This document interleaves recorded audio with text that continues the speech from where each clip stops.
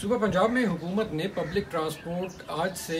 شروع کرنے کا، اس کو چلانے کی اجازت دی ہے اور اس کے لیے چند ایس او پیز جو ہیں وہ تیار کی گئی ہیں۔ ان ایس او پیز کے مطابق جو پبلک ٹرانسپورٹ ہیں، جو بسز ہیں وہ یہ یقینی بنائیں گی کہ جو مسافر ان کے اندر سفر کر رہے ہوں گے، ان کے درمیان دو میٹر کا فاصلہ ہوگا، اس کے علاوہ جو بسز ہیں ان کو ڈس انفیکٹ کیا جائے گا۔ مسافروں کے سوار ہونے سے پہلے اور اس کے بعد، ان کے اترنے کے بعد بھی ان کو ڈس انفیکٹ کیا جائے گا۔ مسافروں کا ٹمپریچر چیک کیا جائے گا ان سوار ہونے سے پہلے۔ ایسے لوگ جو کہ ضعیف ہوں یا بیمار لگیں، ان کو سوار ہونے کی اجازت نہیں ہوگی۔ اسی طرح اور بھی بہت سی ایس او پیز ہیں جو کہ حکومت نے کہا ہے کہ اگر ٹرانسپورٹیشن کمپنیز اس کے اوپر عمل درآمد کرتی ہیں تو اس کے بعد وہ بسز چلا سکتی ہیں یعنی شہروں کے درمیان اور شہر کے اندر بھی پبلک ٹرانسپورٹ جو ہے وہ چل پائے گی۔ لیکن آج ہم نے لاہور میں خصوصاً یہ دیکھا کہ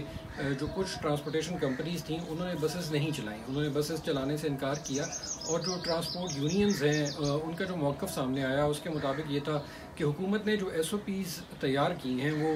ان کے ان کے ساتھ مشاورت کے بغیر تیار کی گئی ہیں۔ ان کا یہ کہنا ہے کہ جہاں حکومت نے ایک طرف یہ کہا ہے کہ پٹرول کی قیمت کم ہونے کی وجہ سے بسوں کا کرایہ جو ہے وہ بیس فیصد کم کیا جائے، وہیں پر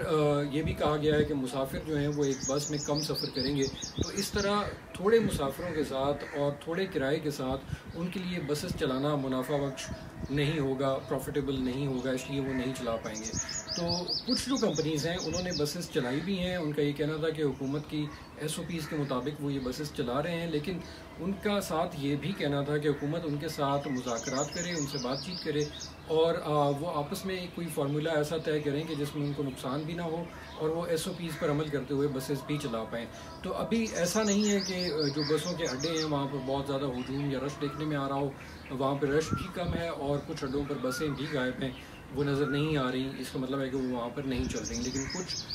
علاقوں، لاہور سے کچھ شہروں کی طرف بسز جو ہیں وہ چل بھی رہی ہیں۔